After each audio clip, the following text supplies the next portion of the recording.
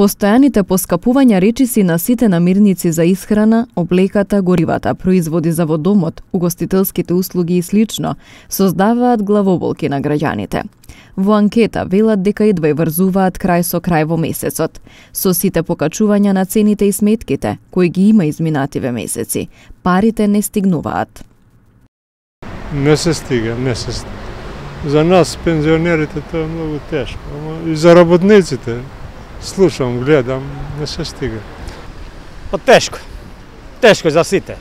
А подобро знае он како е, што немају плате, нема месечна, тоа е. Па социјалци сите сме. За сите ретки се тие што може да подесат да платат да уживаат на ова денешна скапотија. Значи, место трговците барем да ги ограничи еден ден да, еден период да останат истите цени, тие секој ден се нови и нови цени. Значи, загрижуваш.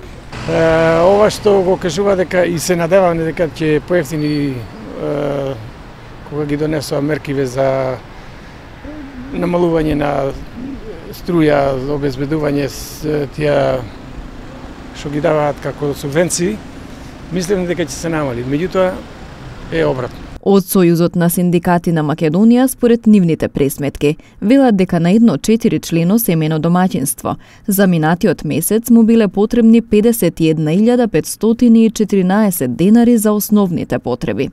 Синдикалната кошничка е зголемена за 16.940 денари, во споредба со истиот месец октомври предходната година.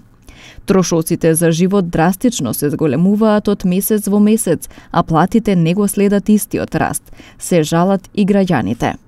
Например, колку се каче цените, платите нису толку качени. Значи, тоа нешто не, не е во ред, ама кој нас праша? Платите и колку да растат, не може да ги, да ги стигнат цените, да ги задоволат потребите на граѓаните. Што треба, треба да се покачат платите. Тоа е.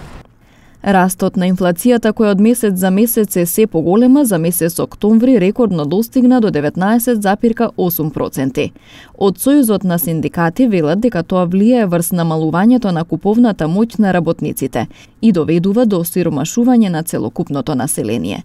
Овој процент на инфлација е нов аларм за синдикатите, затоа што платите не се зголемуваат, но цените и натаму растат и покрај маржите.